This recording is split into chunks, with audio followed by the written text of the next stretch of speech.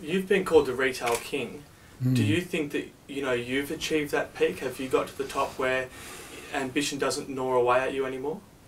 Yeah, sure. I, because I've thought a lot about it. I've actually, um, you know, contemplated all this all my life. You're only here once, and and so you you go through the different stages of your life. I'm 73, so I've gone back through all those stages and had to think about what I did, where I wanted to go, where I am now, where do I want to finish up. I'm a lot closer closer to death than birth, so it's it's you know you've got to sort of you think about where the hell you are, and, and probably when you get over 60 and 70, you think about it a lot more because you know that you could go any day. Half my mates are all dead. So um, you just try and um, do the best you can. Don't get too agitated. When you start to get a bit agitated, you think, why am I agitated? I'm better off than, you know, financially and health-wise than most people. I've outlived half my, you know, best mates.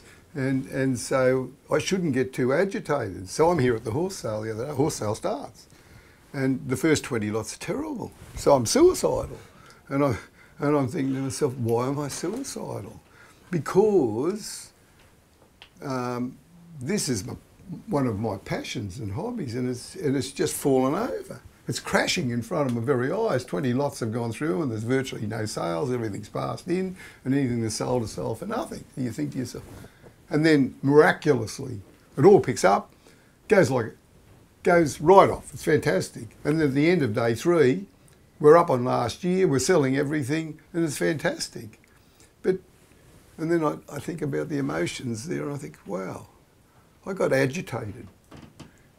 Why did I get agitated? Because, because I, I hate failure, I guess. I'm looking at it and I'm seeing it crashing around me. And, and I, I become a bit emotional about that. Why? if the whole thing fell over and we sold no horses, it's not the end of the world. Mm. But but that wasn't my head's there in, in that success band, and and so I, I, it's, I I get a bit distraught. Got that killer instinct. Probably. Um, again, see people, people ask you questions and you try to give an honest answer.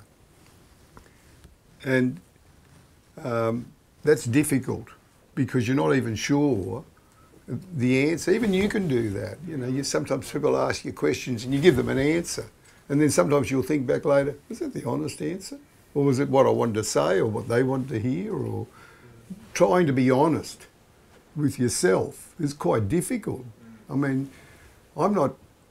I'm not sure sometimes when I answer a question whether that's 100% honest or not. Because maybe you could ask me next week and I might give you a slightly different answer. We'll put a disclaimer on the video. So, yeah, okay. okay.